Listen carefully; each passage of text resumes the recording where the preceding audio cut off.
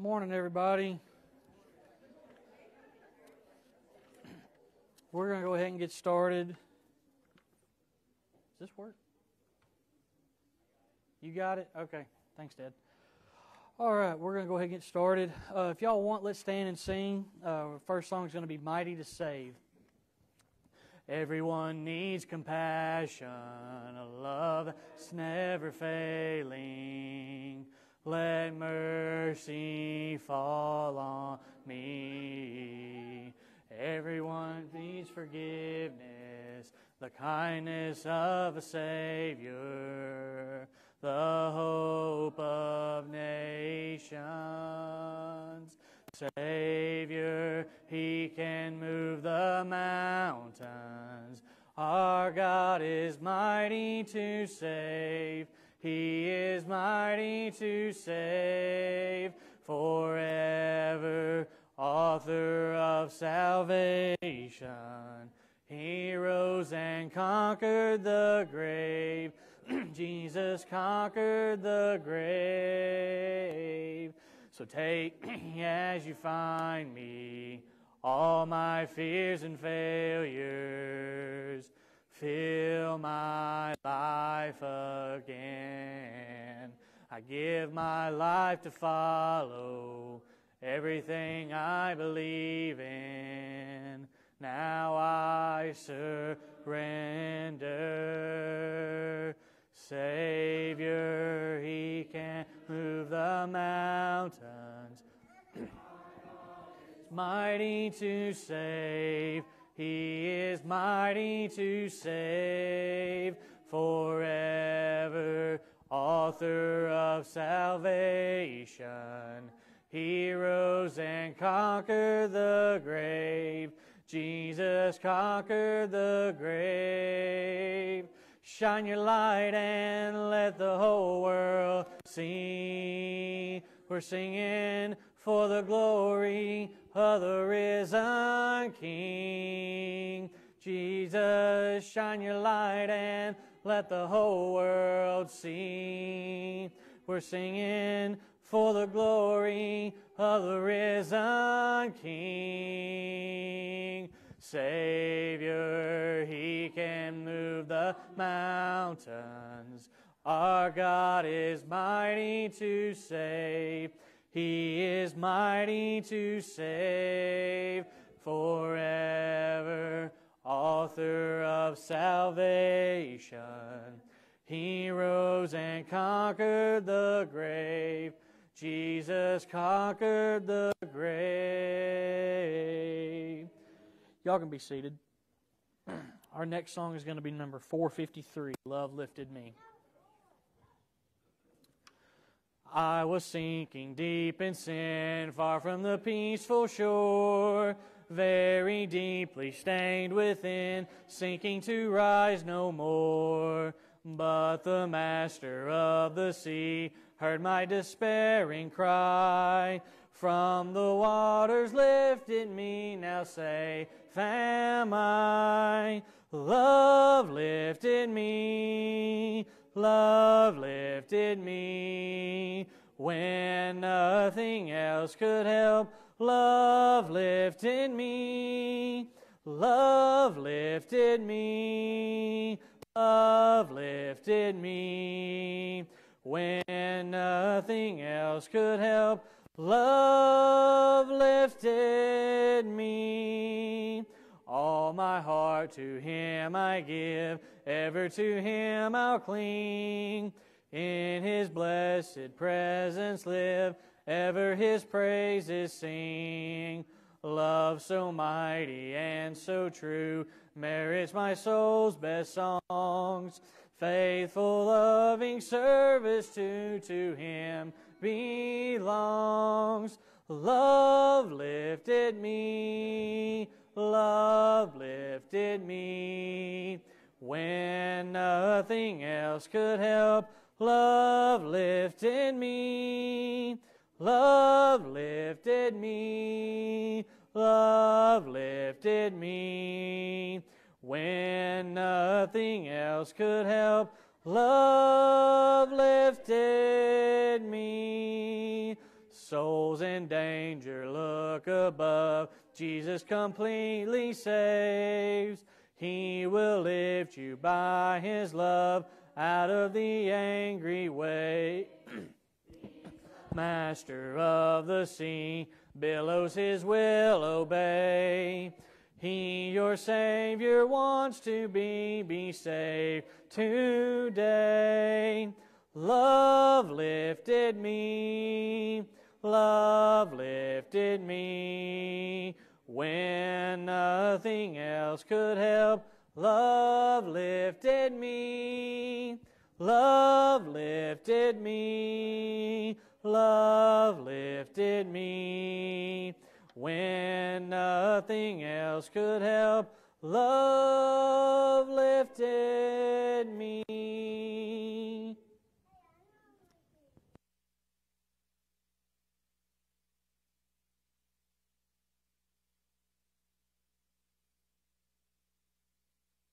Good to see each and every one of you here this morning.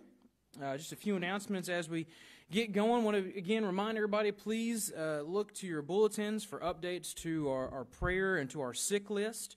Uh, reminder that our, our focus family this week is Ben and, Janie, ben and Jamie Cunningham and their girls, so keep them in your prayers throughout the course of this week. Uh, a couple of updates to that sick list that, that I'm sure several of you have, uh, have, seen or heard of by now, but just a reminder that uh, Barbara Long was sent home on hospice. Uh, and so we definitely want to keep her and, and that family in our prayers. Uh, and then early this morning, uh, as he was jogging, Dylan Burris was attacked by a dog. Um, and so he was taken to the ER in Dyersburg. Uh, he has five stitches in his calf. I think they're on their way home now, but again, just keep them in your prayers this morning as well. Uh, that's a always a, a, very stressful situation to have to deal with something like that. So, uh, but just keep those in, in your thoughts and in your prayers. Um, and then a few announcements as we as we get going. May the 30th, that's this Tuesday, uh, we're taking a trip to the St. Louis Zoo. Uh, the van is going to leave the building here at 8 a.m. Uh, you'll need money. Uh, I've been saying that you'll need money for supper and souvenirs. You'll also need money for lunch, or you're more than welcome to uh, to brown bag it and eat it on the van on the way up there. Uh, but supper and lunch uh, are what you'll need money for, as well as souvenirs. We'll be back later that evening. We'll stop uh, in Sikeston for supper at Lambert's. Uh, and so please uh, make plans to be with us for that. Um, also, something that everybody, we, we would love for you to keep in mind this Thursday, uh, June the 1st, we're hosting the Soul Food Cafe. Uh, out at the refuge at, at, the fairgrounds in Union City, uh, and so that'll be at 5:30. Uh, if you can can show up to help serve and clean up for that. Uh, we had a fantastic outing uh, or, or, showing of support when we did this a year ago. Uh, and so that is this Thursday. Um, so if you're able to help with that in any capacity, please let me know and just make plans to be out there at 5:30 or a little bit before that so we can prepare for that. That's this Thursday, June the 1st.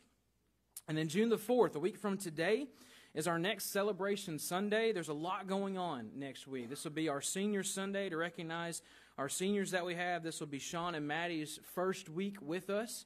Uh, so he'll start his ministry here, and we'll have a potluck after services that morning uh, to, to help recognize our seniors and to celebrate all the things that we have going on. Uh, and so please keep that in mind. That's June the 4th, and then June the 5th. That following Monday night is our first summer youth series of the year. Uh, the van will leave here uh, at 5 p.m. We'll be traveling to the Broad Street Church of Christ in Lexington, Tennessee, uh, and returning later that evening. June the 11th, David French will be down here to give us an update on his work as well as preach that morning. So please keep that in mind. We'd love to see uh, so many people. Uh, uh, uh we would love to see as many people here for that uh, as possible. So all those dates in mind. And then again, uh, just as a reminder, there is a, a new Sunday morning class starting next Sunday. That's our next quarter. Uh, the 18 to 28 year old class will be down the hallway, uh, and as part of our next quarter on Sunday evening, uh, we'll be doing a Q&A series that we're just going to call either Q&A or you asked for it or something along those lines. But that is a chance for you to submit questions to me uh, to answer on Sunday nights, and we hope that you'll choose to be a part of that as well. So, uh, all that being said, are there any other announcements that we've missed this morning? And if not, we'll go to our Heavenly Father in prayer.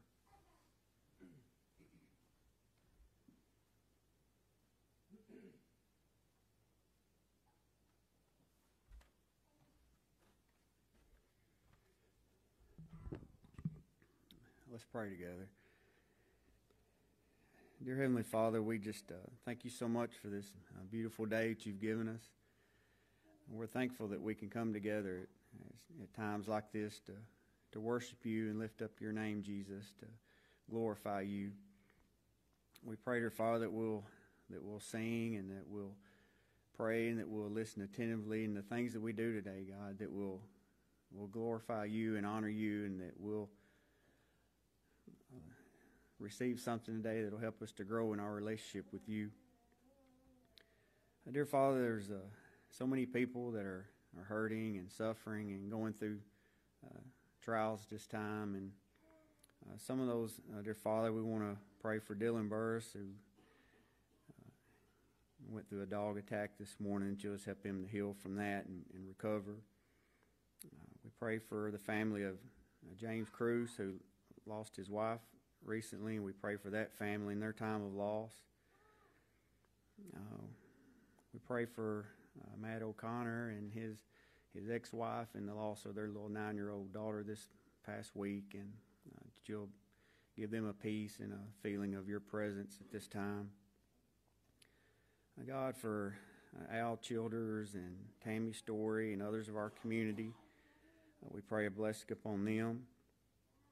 Dear Father, we remember Barbara Long at this time as she's at home with hospice, that you'll be with with her and you'll be with Mike and Christy and Kim and their whole family during this difficult time for them. Dear Father, we we pray for my mom as uh, she's at Cane Creek and she's continued having some health problems. We just pray that you'll bless her and help her that she can get well enough to get the care and uh, treatments that she needs. We continue to pray for Miss Carney's guy who is well on hospice, and we pray a special blessing on uh, Mr. Johnny that you'll give him a sense of peace and comfort that only you can provide, and that you can be with their whole family during this difficult time for them as well. And God, for we pray for Anita, and she may be starting a new chemo soon. We pray that if that that will be a success, and that she can her body can take it, and that you would just help her to have good days ahead.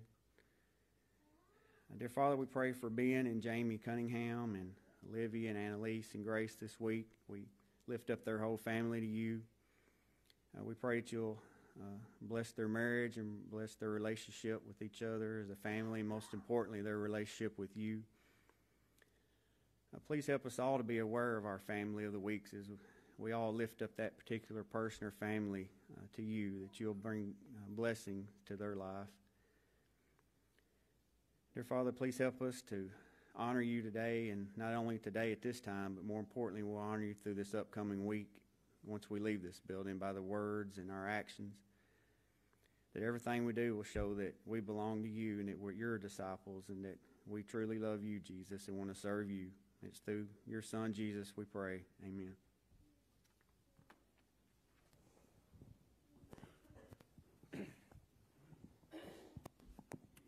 All right, our next song is going to be number 611 Heavenly Sunlight. Walking in sunlight all of my journey over the mountains through the deep vale.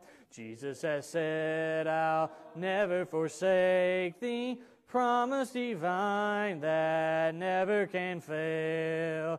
Heavenly sunlight, heavenly sunlight, flooding my soul with glory divine.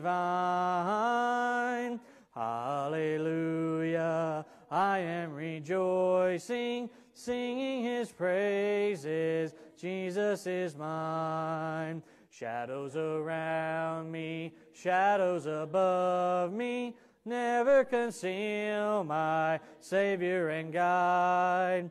He is the light, in Him is no darkness.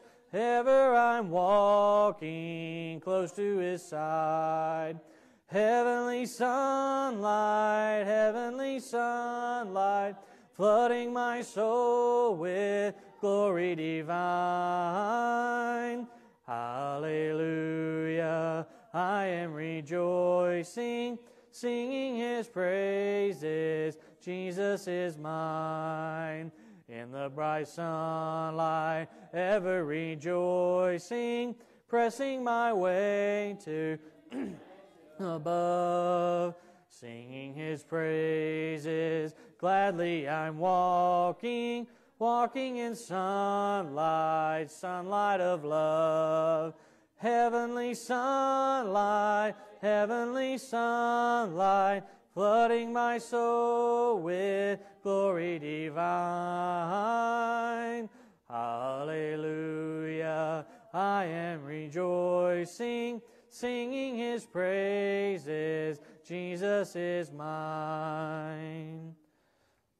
All right, our next song is going to be number 382. Why did my Savior come to earth and to the humble go?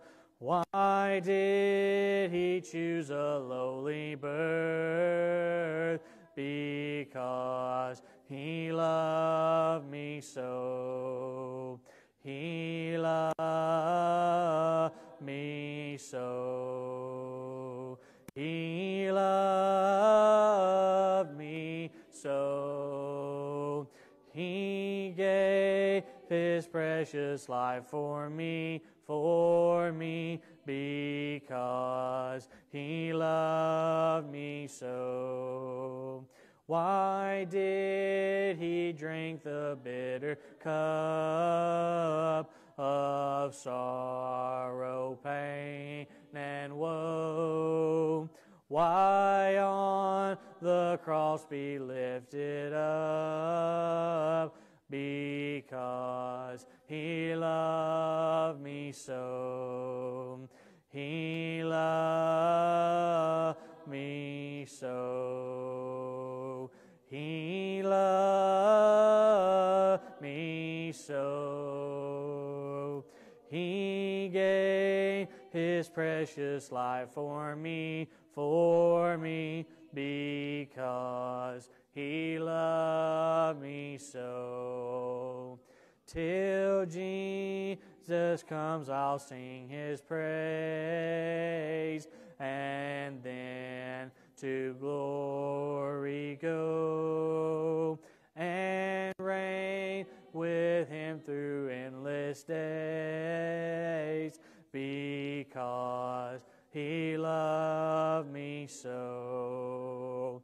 He loved me so.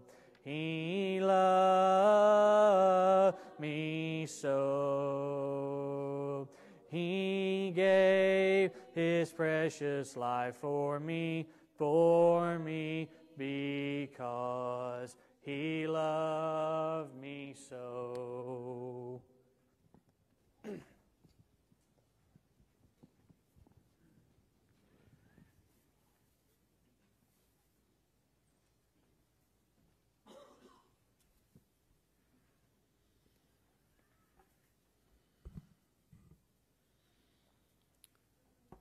How many times have we overlooked a blessing? How many people have this with them today? Raise your hand. Do you know this is a blessing not just because it's the Word of God, but how long have people been able to have their own copy of the Bible? Does anybody know?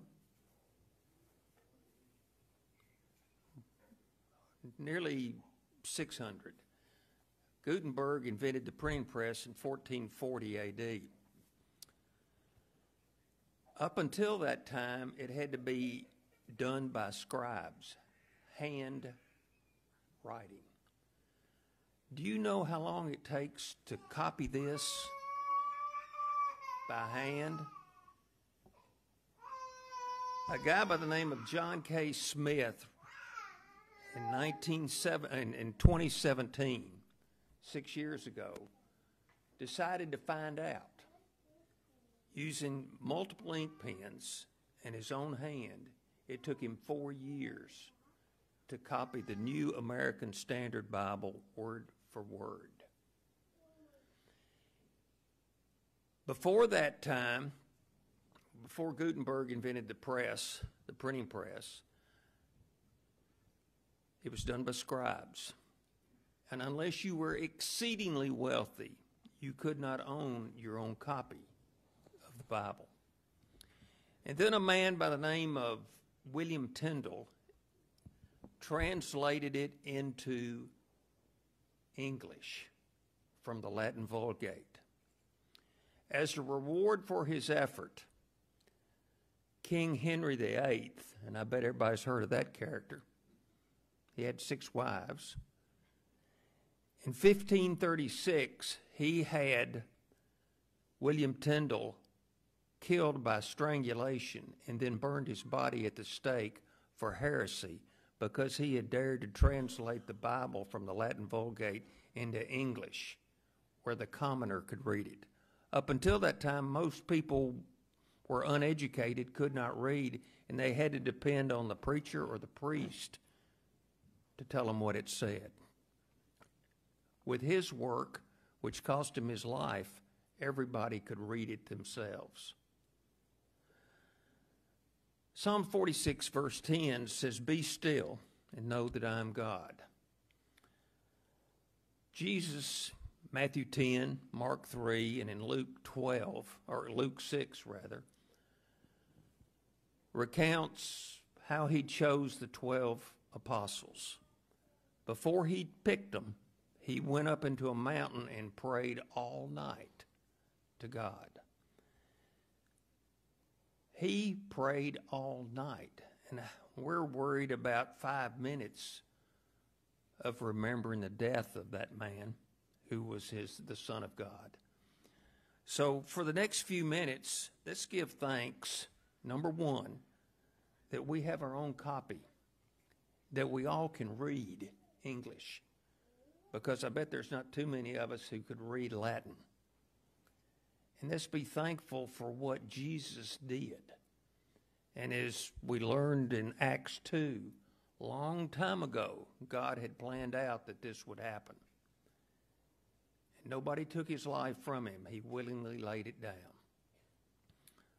So this bread represents his body.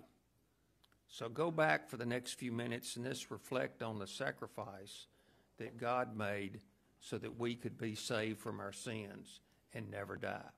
Let's pray.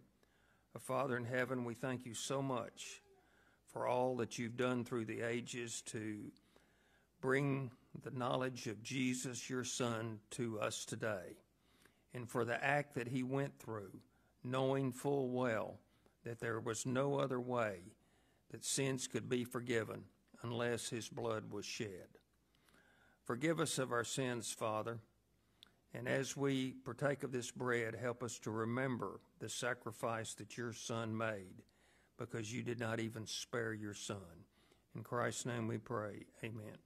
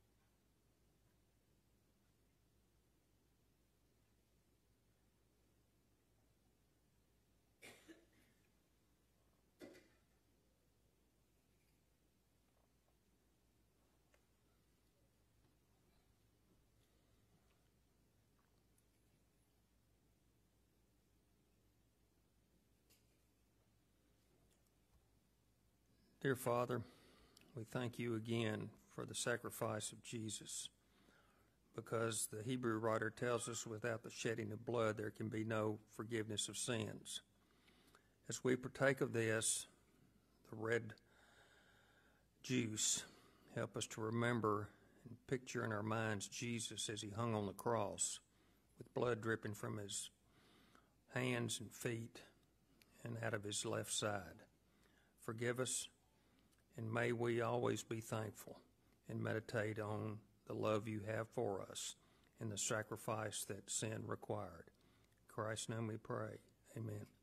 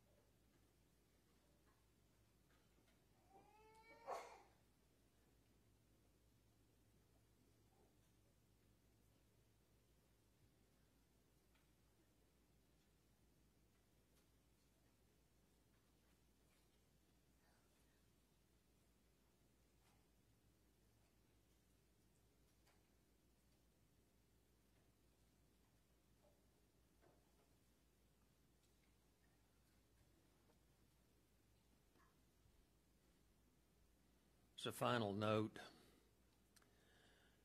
the King James Bible, first edition, 1611, was about 75 years after William Tyndale died.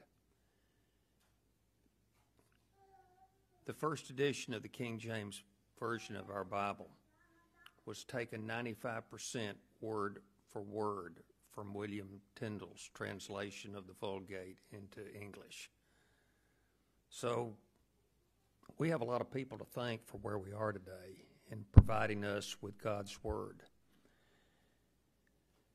And God loves a cheerful giver. So let's be thankful for all those that went before us, but especially thankful to God.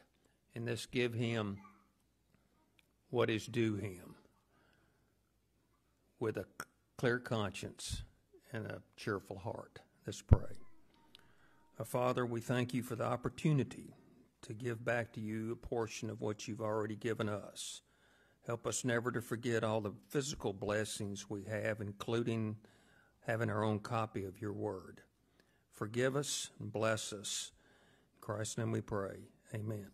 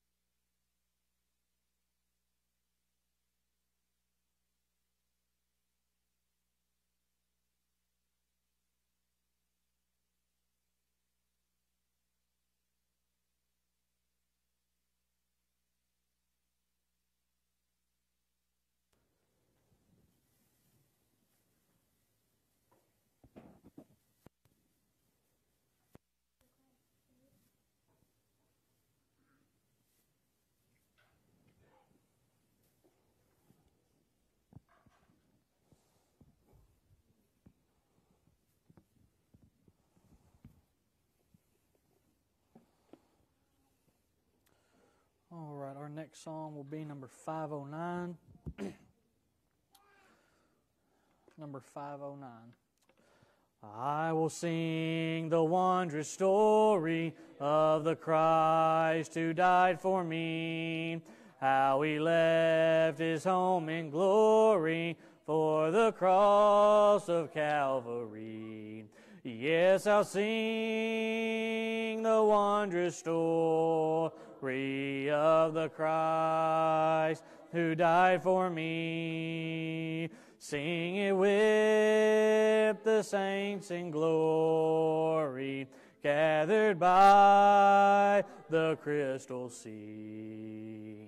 I was lost, but Jesus found me, found the sheep that went astray. Threw his loving arms around me, drew me back into his way. Yes, I'll sing the wondrous story of the Christ who died for me. Sing it with the saints in glory, gathered by the crystal sea.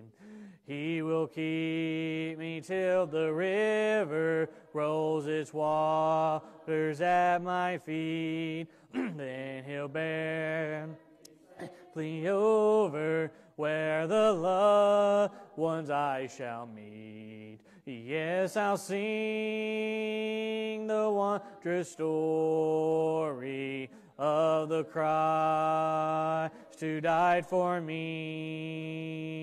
Sing it with the saints in glory, gathered by the crystal sea. All right, at this time, children are dismissed to Children's Church. While we'll do that, we're going to sing number 957. number 957. This world is not my home, I'm just a passing through. My treasures are laid up somewhere beyond the blue. The angels beckon me from heaven's open door, and I can't feel at home in this world anymore. Oh Lord, you know I have no friend like you. If heaven's not my home, then Lord, what will I do? The angels beckon me from heaven's open door, and I can't feel at home in this world anymore. They're all expecting me, and that's one thing I know.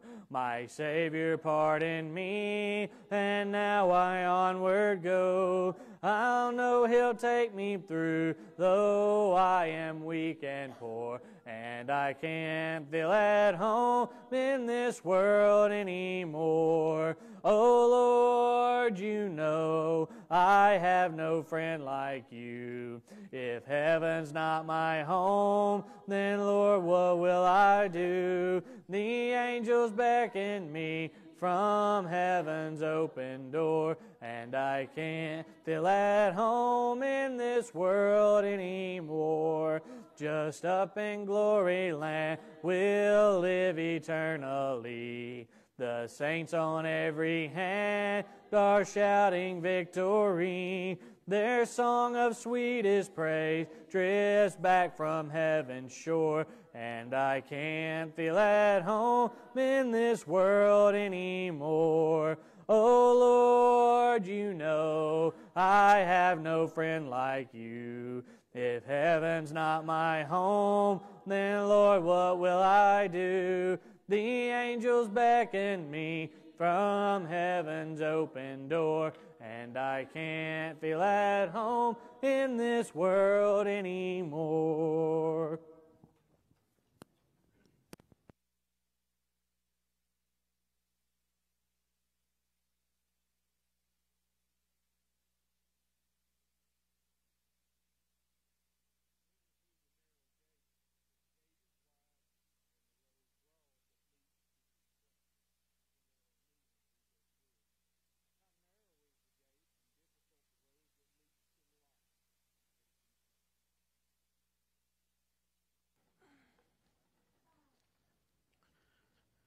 Well, good morning. it is a great day to worship our God. Amen? Amen. I'm so glad that you are here. Uh, if you're joining us uh, online, I'm thankful that you've tuned in. Uh, I know with it being the, the holiday weekend that there's several of our number who may be traveling this week, and we certainly wish uh, safety for them. Uh, but I'm glad that whether you are here with us in person or online, that you have chosen to begin your week uh, worshiping our God together. In a few moments, we're going to sing an invitation song, at which time two of our shepherds are going to be in the back and would love nothing more uh, that if you have something that we can help you with this morning, that you go and see them and talk to them. Uh, let us assist you in, in whatever that need may be.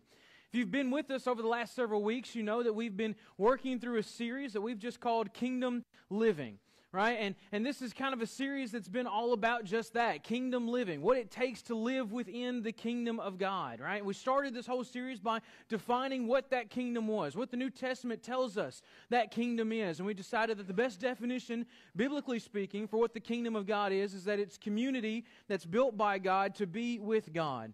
We started looking at whose authority we're under as a part of that kingdom. And then last week we took a look at how far does that kingdom expand, right?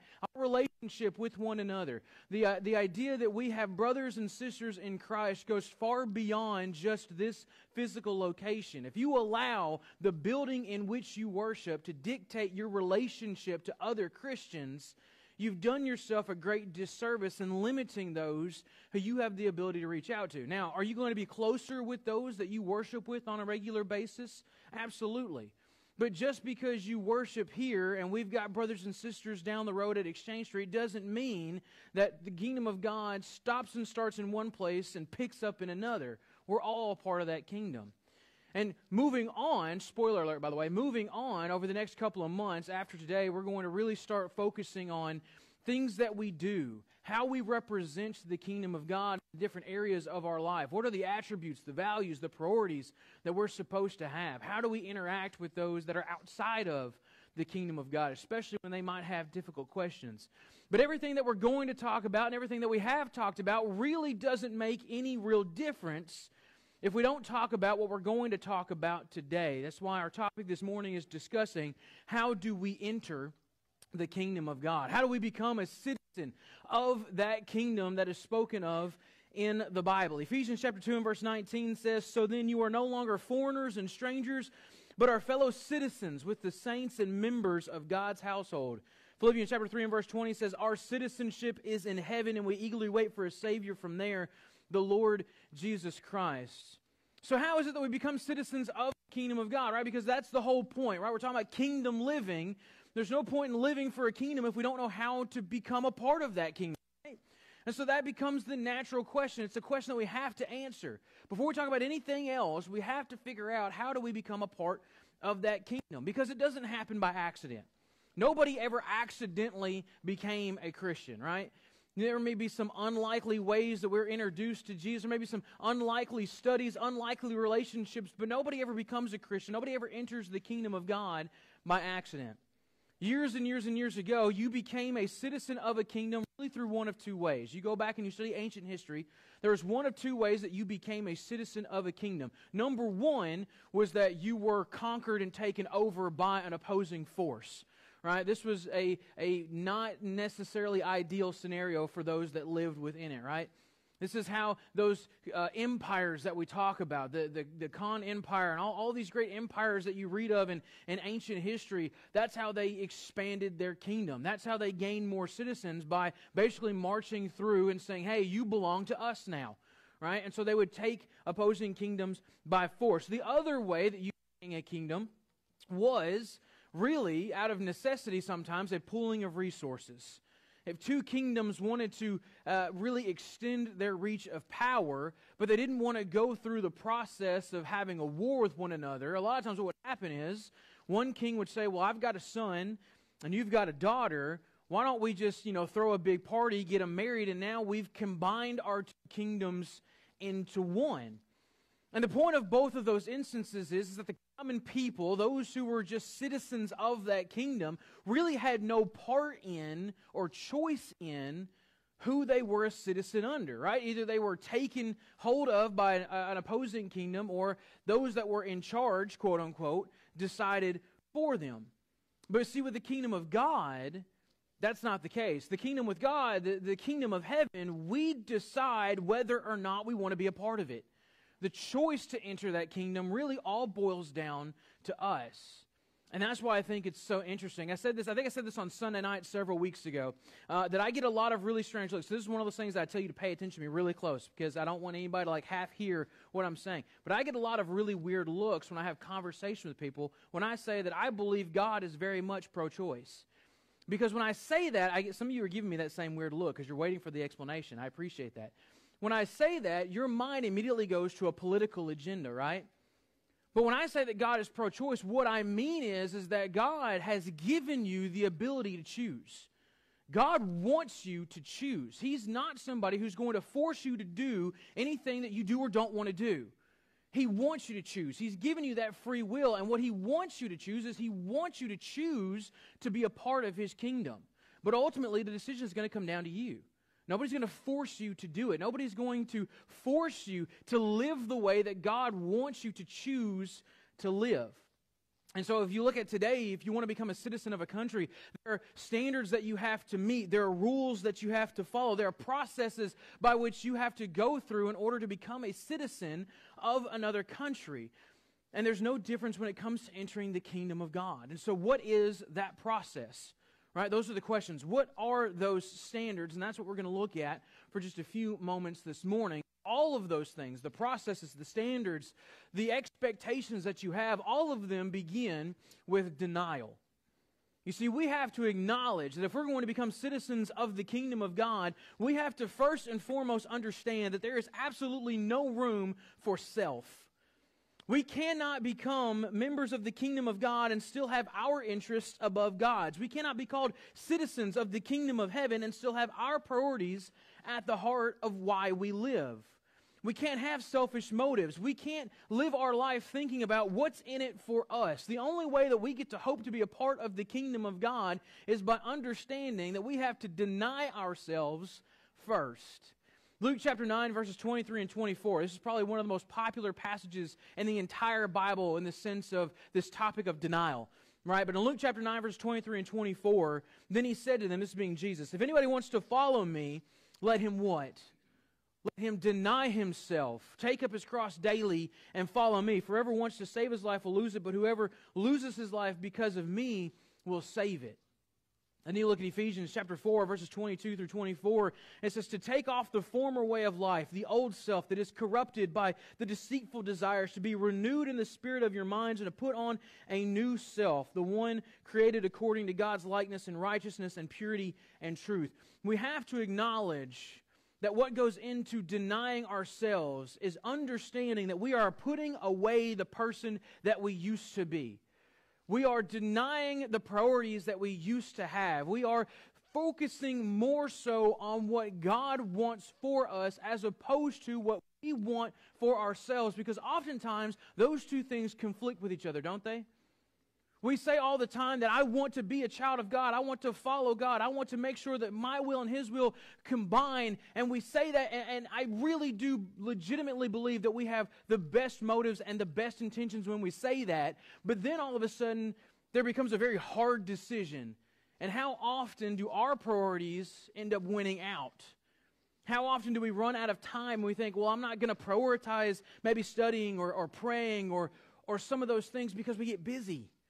We get busy, we get tired, we get stressed, we get sick. And so, all of those things, now all of a sudden, life is challenging me. And life is saying, look, you need to focus on you for a little bit, and God will be there when you get better. God will be, be there when you get a little bit more time on your hands. God will be there when your kids aren't being so annoying. But at the end of the day, the Bible says that if we're going to be followers of God, if we're going to be members of the kingdom of heaven, it means that we prioritize what God prioritizes. We deny ourselves. It's not about us anymore. Galatians chapter 5, verses 24 and 25 says, Now those who belong to Christ Jesus have crucified the flesh with its passions and desires. And if we live by the Spirit, let us also keep in step with the Spirit. Romans chapter 6 and verse 6 For we know that the old self was crucified with him so that the body might not be, so that the body ruled by sin might be rendered powerless so that we may no longer be enslaved to sin. You see, there's an old self and a new self when it comes to being a part of the kingdom of God. The old self, the Bible paints that picture, is to be crucified, to be put away, to be put to death, to, to be gotten rid of. And so entering the kingdom of God begins with denial because if we can't get that part down, none of the rest of it matters. If we can't figure out that part of, if not the most important part of being a part of the kingdom of God means denying ourselves, nothing we do from that point on is going to make any difference because everything that we do from that point on is going to be tainted by the image of saying, What do I want? What is going to be the best thing for me? What is in it for me? Anybody ever met somebody like that, by the way? Right, me and my brother used to do this all the time. My dad, I've told you before that my dad was an auctioneer growing up. And so naturally, uh, me and my brother, especially in our teenage years, we got recruited. Uh, voluntold is the, the right term there, right? Uh, but we got voluntold a lot that, hey, this Saturday, uh, we've got to go load up a truck because my dad bought yet another storage building full of junk to auction off, right? And oftentimes, my brother and I, our first reaction would be, y'all probably know this, right? What was your first reaction there, right? well, what's in it for us? Right? There was a time in my life where uh, Larry Balkin, my dad's auction partner, and, and, my dad, we were working as ringmen for him at his auctions, right? And, and for a little while, my brother and I got paid. We were part of the paid help ring crew. And, and I never forget the first time that we worked an auction where we didn't get paid. And all of a sudden, I was like, hey, wait a minute. Why did I just do everything that I just did? Because we were focused on what? We were focused on what's in it for us. I didn't want to wake up at 4:30 in the morning on a Saturday to go haul a bunch of heavy stuff into somebody's yard and watch a bunch of strangers fight over it. But I did. Not because I, I, you know, but I did so at that time because I was thinking about what's in it for me, right? And there were a lot of perks as a kid to doing that, right? You got paid, you got free sausage biscuits because Granddad would come down with free sausage biscuits. There was a lot of that, but it was always about what's in it for me. How often do we approach being a Christian that way, right?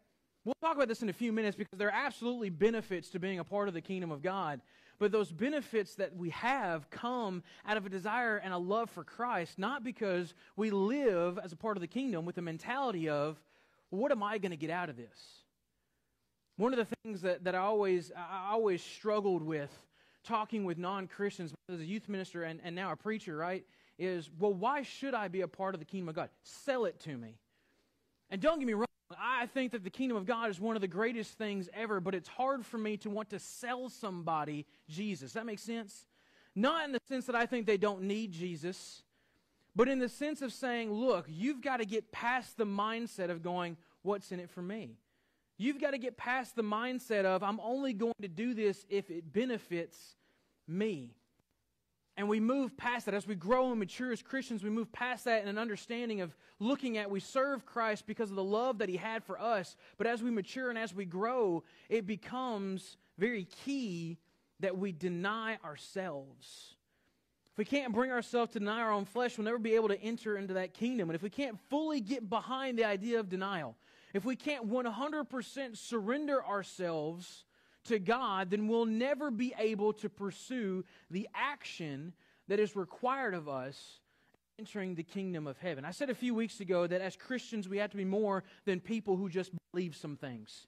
Anybody remember saying that? As Christians, we are more than just people who believe some things. Belief is important, yes. Faith is crucial, absolutely.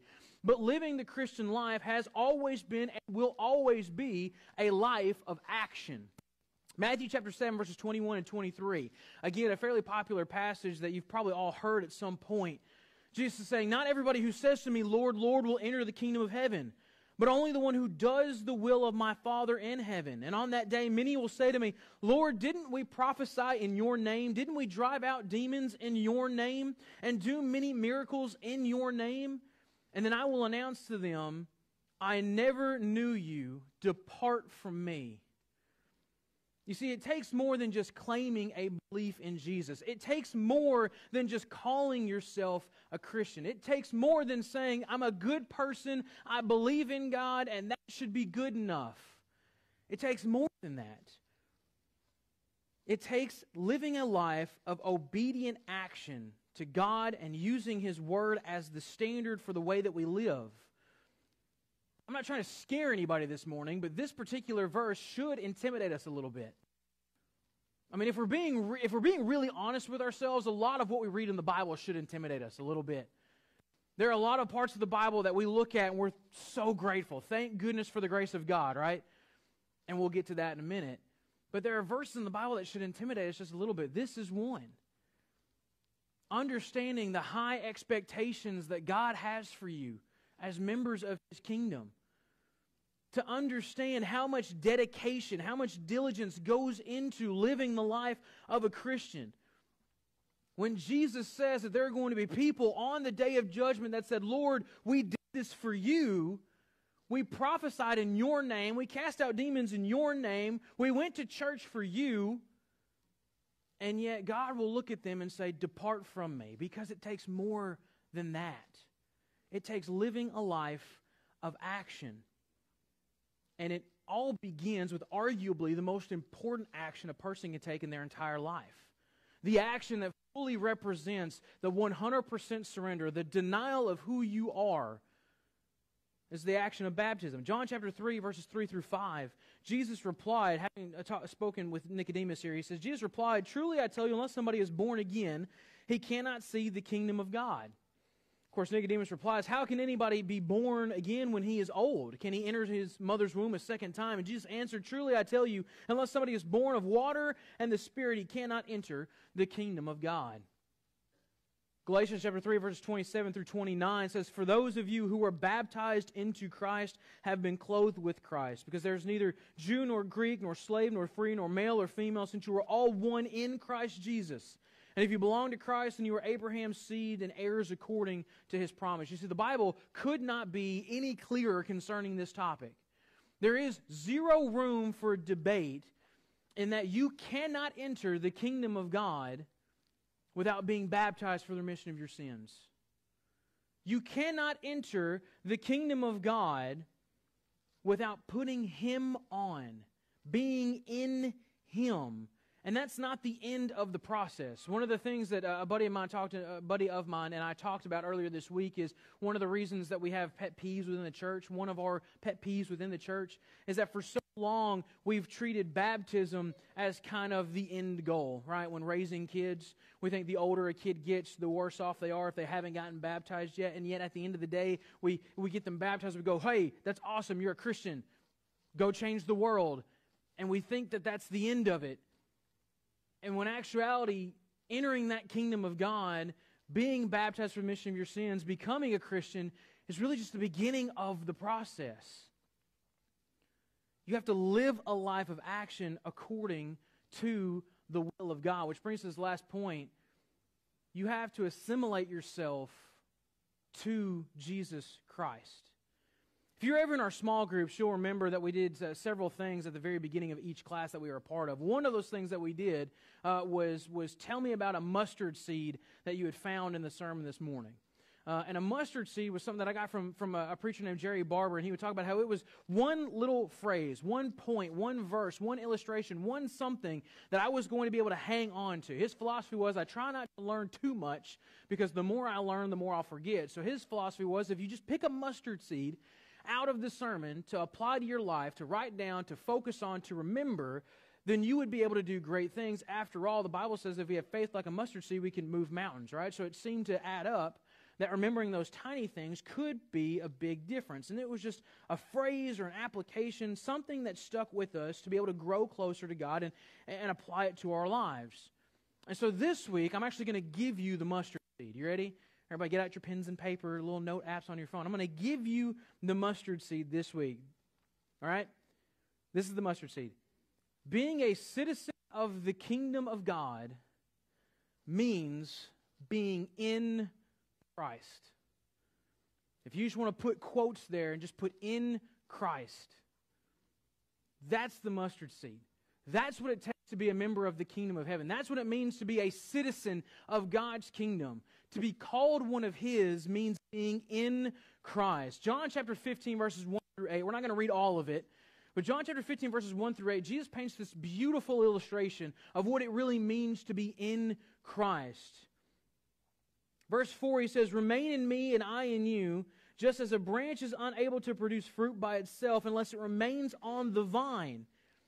Neither can you unless you remain in me. I am the vine and you are the branches. The one who remains in me and I in him produces much fruit because you can do nothing without me. And if anyone does not remain in me, he is thrown out aside like a branch that withers and is garnered and thrown into the fire and they are burned. Jesus says that I am the vine. You have to be attached to me. You have to be in me if you're going to produce the fruit that I want you to produce. Abiding in Him means living a new life. I think so often we, we fail to paint that picture when it comes to baptism, right? We, we talk about all the time how you're being baptized for remission of your sins and you're a new person now.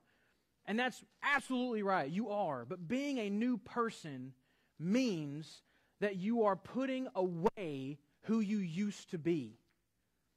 Because so often as Christians, whether you're a new convert or you've been a member of God's kingdom for 50 some odd years, so often as Christians, we want to hold on to God with one hand and hold on to ourselves with the other.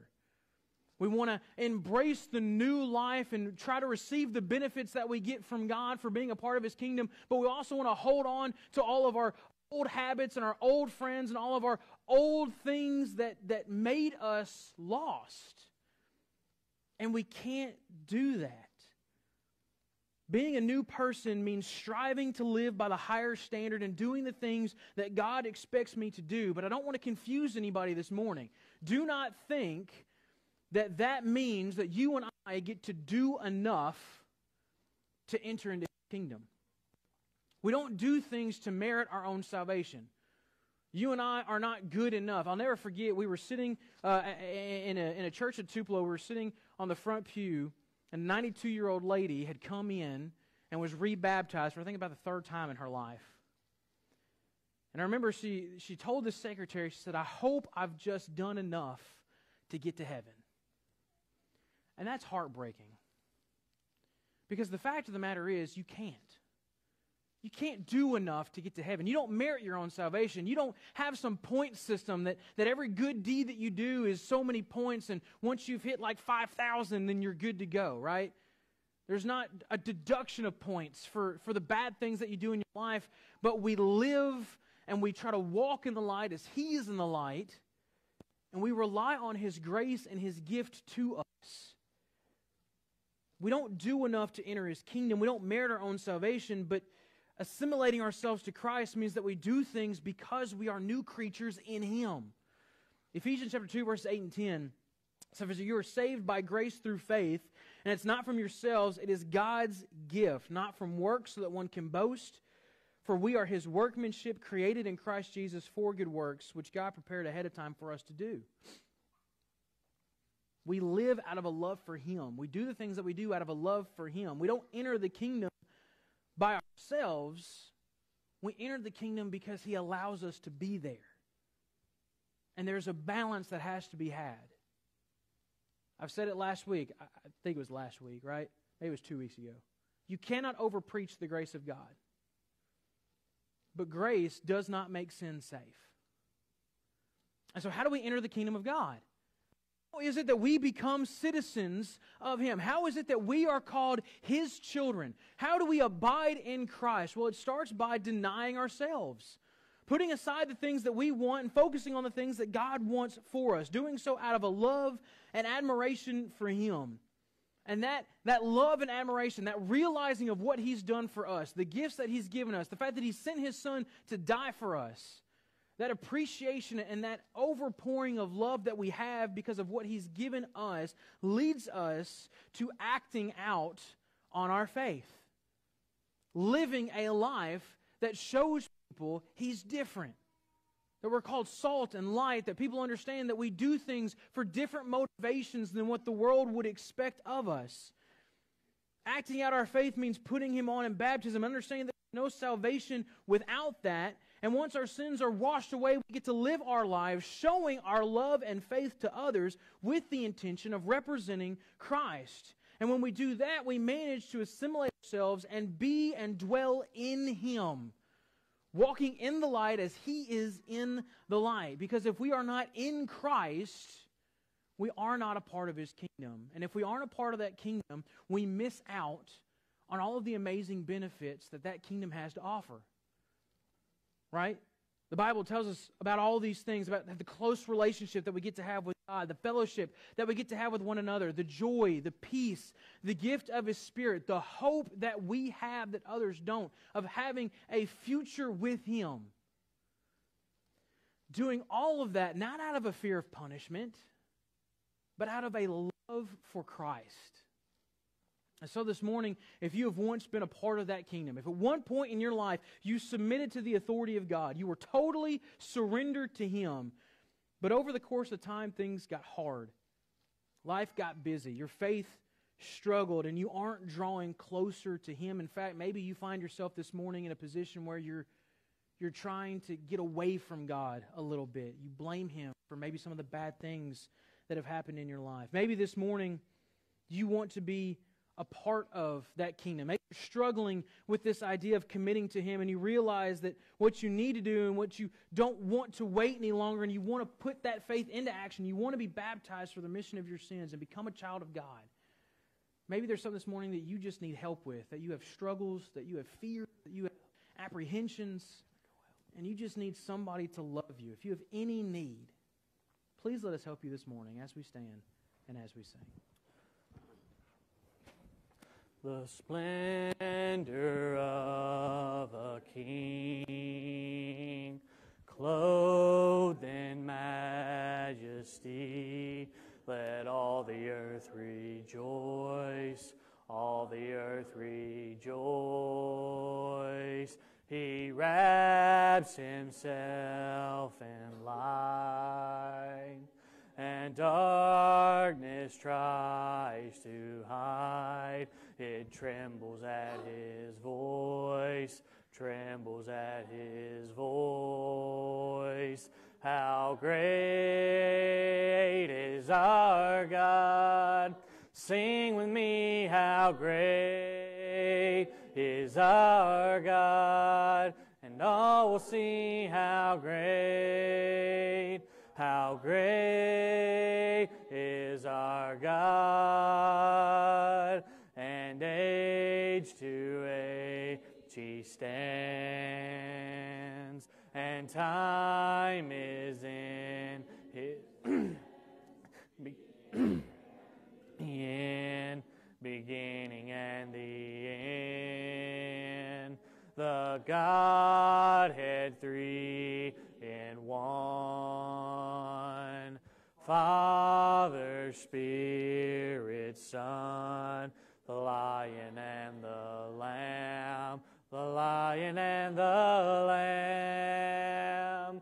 How great is our God! Sing with me, how great is our God! and all will see how great, how great God. How great is our God. Sing with me, how great is our God. And all will see how great, how great is our God.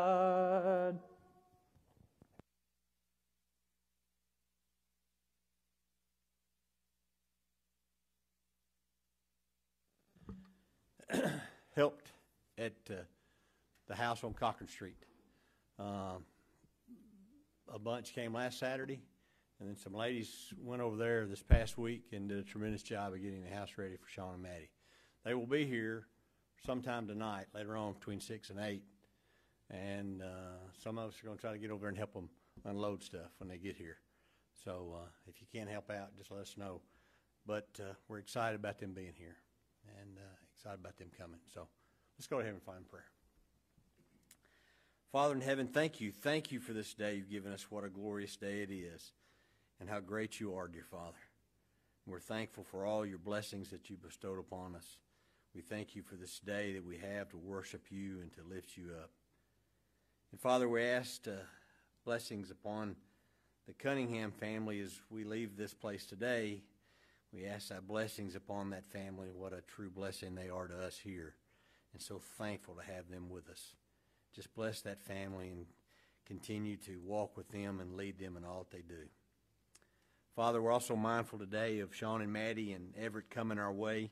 We ask safe travels as they come that way. We're excited about them being here, and we're so thankful for you leading them to us. And we hope and pray that all things will work together for them as they come and that we can continue to move forward and uh, serve, that can serve this congregation. And Father, I also want to thank uh, for Nathan and Chelsea and their families they work and labor here and just all that they do for us here. Thank you so much for them.